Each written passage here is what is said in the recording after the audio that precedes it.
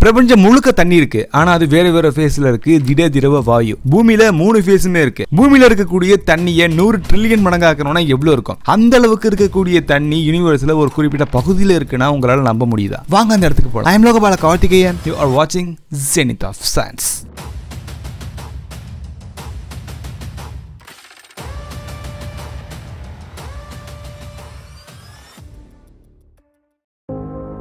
gravity lensing மூலியமா கடந்த ஆயிரத்தி தொள்ளாயிரத்தி தொண்ணூற்றி எட்டாவது வருடத்தில் கண்டுபிடிக்கப்பட்ட ஒரு குவாசர் தான் APM zero eight two seven nine plus five two five five அந்த ஒரு காலகட்டத்தில் நம்ம யூனிவர்ஸ் முழுக்க அதிகமான கார்பன் ஸ்டார்ஸ் இருக்கும் அப்படிங்கிற ஒரு பேச்சு இருந்துச்சு. ஸோ அதை நம்ம கண்டுபிடிக்கிறதுக்காக நம்ம ஸ்பேஸ் டெலஸ்கோப்பை ஒரு குறிப்பிட்ட பகுதிக்கு திருப்பணும் அப்போ தான் கிராவிட்டி லென்சிங் மூலியமா ரொம்ப வெளிச்சமான ஒரு பகுதியை நம்ம பார்த்தோம். பேர் ரொம்ப பெருசாக இருக்குன்னு நினைக்கிறேன். ஸோ இதோடைய மற்ற பேர்களை வச்சு நீங்கள் கொஞ்சம் கம்பேர் பண்ணி பார்த்துக்கோங்க.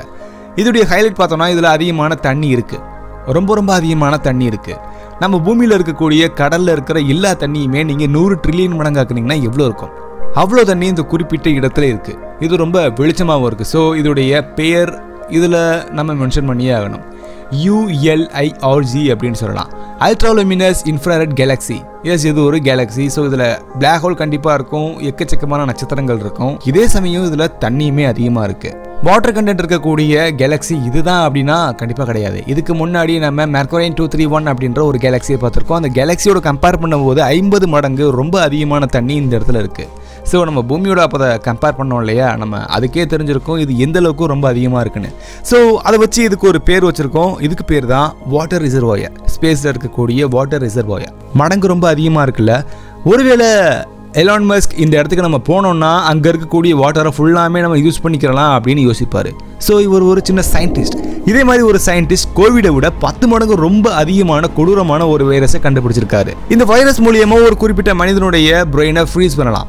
இதுக்கு ஒரு அளவு தான் ஐந்து முறைக்கு மேலே அந்த மனிதனுடைய பிரெயினை ஃப்ரீஸ் பண்ணால் அவன் இறந்துருவான். குக்கு எஃப்எம்ல நித்தம் ஒரு யுத்தம் அப்படின்ற ஒரு சீரீஸை கொண்டு வந்திருக்கேன் இதன் மூலியமா ஒரு நல்ல சயின்டிஸ்ட் கெட்ட வழியில போறான். ஏன் போறான்? எதுக்காக அந்த வைரஸை கண்டுபிடிச்சிருக்கான்? அதன் மூலியமா என்னென்ன மாதிரியான பின் விளைவுகள்லாம் ஏற்படுது? நீங்க ரொம்ப சஸ்பென்ஸாகவும் த்ரில்லிங்காகவும் நீங்க ஒரு சீரீஸை பார்க்கணும் கேட்கணும் அப்படின்னா குக்கு எஃப்எம்மோட லிங்க் கீழே டிஸ்கிரிப்ஷனில் இருக்கு. அதை நீங்க கிளிக் பண்ணுங்க. இன்ஸ்டால் பண்ணிட்டு உள்ள coupon கோடில் N O Y five zero அப்படின்ற கூப்பன் கோடை நீங்கள் கிளிக் பண்ணீங்கன்னா இந்த எபிசோடை நீங்கள் ஃபுல்லாக கேட்கலாம். டிஸ்கிரிப்ஷனில் இருக்கக்கூடிய லிங்க் ப்ரோமோ கோடு யூஸ் பண்ணீங்கன்னா ஐம்பது சதவீதம் தள்ளுபடி கண்டிப்பாக இருக்கும்.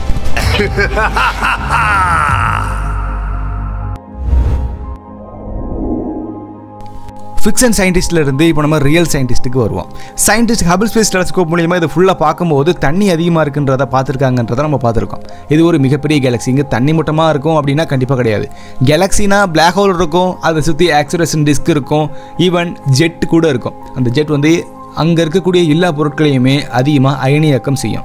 ஸோ இதுதான் இதில் ரொம்ப அதிகமான ஒளியை வெளியேற்றக்கூடிய ஒரு கேலக்ஸியாக முன்னாடி நிப்பாட்டி வச்சிருக்கு. இது ஒரு கேலக்ஸி அப்படின்றத நம்ம பார்த்துட்டோம். கேலக்ஸியில் பல வகைகள் இருக்குது எலிப்டிக்கல் கேலக்ஸி இருக்குது இர்ரெகுலர் கேலக்ஸி இருக்குது ஏ ஸ்பைரல் கேலக்ஸி கூட இருக்குது அந்த வகையில் இந்த கேலக்ஸி எலிப்டிக்கல் கேலக்ஸி அதுவும் மிகப்பெரிய ஜெயிண்ட் எலிப்டிக்கல் கேலக்ஸி அப்படின்னு சொல்லுவோம் இது ரொம்ப பழமையான கேலக்ஸி இல்லையா? ஸோ அதனால இதோடைய அளவு ரொம்பவே அதிகமாக இருக்கும். இதை நம்ம ஃபுல்லாக படித்தோன்னா நம்ம யூனிவர்ஸ் யூனிவர்ஸுடைய ஸ்டார்டிங் பாயிண்டான அந்த பிக் பேங் அந்த சின்ன புள்ளியை நோக்கி கொஞ்சம் நம்ம ட்ரிகர் பண்ணுறதுக்கு சான்ஸ் இருக்குது ஹபிள் ஸ்பேஸ் டெலஸ்கோப்பில் மட்டும்தான் இந்த ஒரு கேலக்ஸியை பார்த்துருக்கோமானா கண்டிப்பாக கிடையாது. இது உட்பட பல கேலக்ஸி உதாரணத்துக்கு சந்திரா எக்ஸ்ரே ஸ்பேஸ் அப்சர்வேட்டரி மூலியமாகவும் பார்த்துருக்கோம்.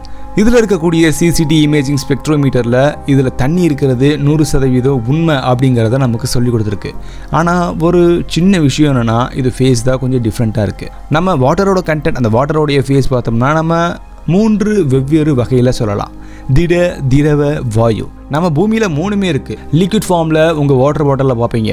அதே வாட்டர் பாட்டிலை நீங்கள் ஃப்ரீசிங்கில் வச்சிங்கன்னா ஃப்ரீசரில் வச்சா அது ஃப்ரீஸ் ஆகி ஐஸ் கட்டி ஆகும். அது ஒரு ஃபார்ம் அது சாலிட் ஃபார்ம் இது நீங்கள் ஒருவேளை அந்த தண்ணியை கொதிக்க வச்சிங்கன்னா அது ஆவியாகும். அது வேப்பர் ஃபார்ம் ஸோ இந்த மூணு ஃபார்மில் இருக்குது இந்த மூணு ஃபார்மில் கடைசியாக பார்த்த அந்த வேப்பர் ஃபார்மில் தான் அந்த கேலக்ஸியில் முழுக்க முழுக்க இருக்குது அதை நம்மளால் யூஸ் பண்ணிக்க முடியுமா அப்படின்னு கேட்டால் வருங்கால விண்வெளி ஆராய்ச்சி கண்டிப்பாக அதுக்கான சரியான பதிலை கொடுக்கும். இந்த கேலக்சியில் மட்டும்தான் இருக்கா? அப்படின்னா கண்டிப்பாக கிடையாது. நம்மளுடைய ஓன் கேலக்ஸியான மில்கிவே கேலக்சியில் இது கண்டிப்பாக இருக்குது ஓகே நம்ம கேலக்ஸியை பார்த்தோம் கேலக்ஸியோட மையத்தில் இருக்கக்கூடிய பிளாக் ஹோலை கொஞ்சம் எட்டி பார்த்துட்டு வருவோம். பிளாக் ஹோல் ரொம்பவே பெருசு. ஏன்னா ஜெயின் எலிப்டிக்கல் கேலக்ஸியை நிர்வகிக்கணும் இல்லையா?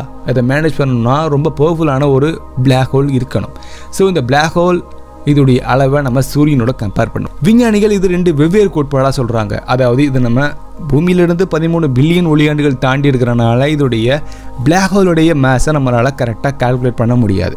ஸோ ஒரு சில விஞ்ஞானிகள் இந்த பிளாக் ஹோலுடைய அளவு இருபத்தி மூணு பில்லியன் சூரிய வெகுஜனங்களுக்கு ஈக்குவலாக இருக்கும் அப்படின்னு சொல்கிறாங்க தட் மீன்ஸ் சூரியனை இருபத்தி மூணு பில்லியனை ஆக்கணும்னா இருபத்தி மூணு பில்லியன் சூரியன் நம்மகிட்ட இருந்துச்சுன்னா அதோடைய மேஸ் எவ்வளோ இருக்கும்? அந்த மேஸ் இந்த குறிப்பிட்ட பிளாக் ஹோலில் மட்டுமே இருக்கும் அப்படிங்கிறது ஒரு சிலரோட ஒரு நம்பிக்கை ஒரு சிலருடைய நம்பிக்கை. இன்னும் ஒரு சிலர் இது அவ்வளோலாம் இருக்காதுப்பா சும்மா இது பிளாக் ஹோல் ரொம்ப பெருசு அதை நான் ஒத்துக்கிறேன். பட் நம்ம சூரியனோட கம்பேர் பண்ணும்போது பத்து பில்லியன் சூரிய வெகுஜனங்கள் மட்டும்தான் இதில் இருக்கும் அப்படின்னு சொல்கிறாங்க இருபத்தி மூணு பில்லியனோ பத்து பில்லியனோ ரெண்டு ரொம்பவும் பெருசு. நம்ம ஓன் கேலக்சியோடைய சாஜரோடியஸ் ஏ ஸ்டாரோட கம்பேர் பண்ணும்போது. சாஜரோடியஸ் ஏ ஸ்டார் சூரியனோட நானூறு மில்லியன் மடங்கு தான் பெருசு. ஸோ ரொம்ப ரொம்ப ரொம்ப ரொம்ப பெரிய பிளாக் ஹோல் தான் இது.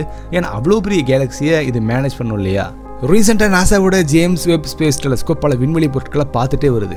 ஈவன் இப்போ ரீசெண்டாக கூட யூரோப்பாவை அதன் மூலியமாக பார்த்துருக்கோம். அதில் அதிகமான கார்பன் இருக்கிறத நம்ம பார்த்துருக்கோம். ஸோ இதே மாதிரி தான் கண்டிப்பாக இந்த ஏபிஎம் அதாவது ரொம்ப அதிகமாக ஒளிரக்கூடிய இந்த கெலக்ஸியான APM zero eight two seven nine plus five two five five அதோடைய பட்டியலில் இருக்குது ஸோ ஃப்யூச்சரில் ஒரு மிகப்பெரிய டிஸ்கவரிக்காக நீங்களும் நானும் காத்திருப்போம். கண்டிப்பாக காத்திருக்கணும். ஸோ நீங்கள் இந்த அதை பற்றி அப்டேட் தெரிஞ்சுக்கணும் இல்லையா? மறக்காமல் நீங்கள் ஜெனித் ஆஃப் சயின்ஸை மறக்காமல் சப்ஸ்கிரைப் பண்ணி பெல்லைக்கான கிளிக் பண்ணுங்கள் ஜெனித் ஆஃப் சயின்ஸ் அப்படின்ற இந்த நேம் நீங்கள் ஃபேஸ்புக் இன்ஸ்டாகிராம் அண்ட் ட்விட்டர் மூலியமாக நீங்கள் சர்ச் பண்ணிங்கன்னா கண்டிப்பாக நம்மளுடைய பேஜஸ் அப்பியர் ஆகும். நீங்கள் கிளிக் பண்ணுங்கள் ஃபாலோ பண்ணுங்கள் ஏதாவது பேசணுன்னா நீங்கள் டிஎம் பண்ணுங்கள் என்னுடைய பர்சனல் ஐடியான லோகபால கார்த்திக் அஃபிஷியல் அப்படின்ற ஐடியாவும் நீங்கள் தேவைப்பட்டால் ஃபாலோ பண்ணுங்கள் என்கிட்ட கொஞ்சம் பேசலாம். அண்ட் ஃபைனலி நித்தம் ஒரு யுத்தம் அப்படின்ற அந்த பாட்காஸ்ட்டை நீங்கள் கேட்கணும். அந்த சீரீஸை நீங்கள் பார்க்கணுன்னா டிஸ்கிரிப்ஷனில் இருக்கக்கூடிய லிங்கை யூஸ் பண்ணி உள்ளுக்குள்ள ப்ரோமோ கோடில் நித்தம் ஒரு யுத்தம் N O Y five zero அப்படின்ற கூப்பன் கோடை கிளிக் பண்ணுங்கள் நீங்கள் டைப் பண்ணிவிட்டு நீங்கள் உள்ளே போனீங்கன்னா அதை நீங்கள் கண்டிப்பாக ஃபுல்லாக சஸ்பென்ஸோடு பார்க்கலாம். இது மாதிரி அடுத்து ஒரு வினோதமான விண்வெளி சார்ந்த பயணங்களை நம்ம கண்டிப்பாக சேர்ந்து பயணிக்கலாம். அதுவரை உங்களிடம் இருந்து விடைபெறுவது நான் உங்கள் மூ. லோகபால கார்த்திகேயன். தேங்க்ஸ் ஃபார் வாட்சிங் சீரோ நெக்ஸ்ட் வீடியோ பாய் மரம் வளர்ப்போம் வரும் கால சந்ததிகளை காப்போம். 哈哈哈哈哈哈。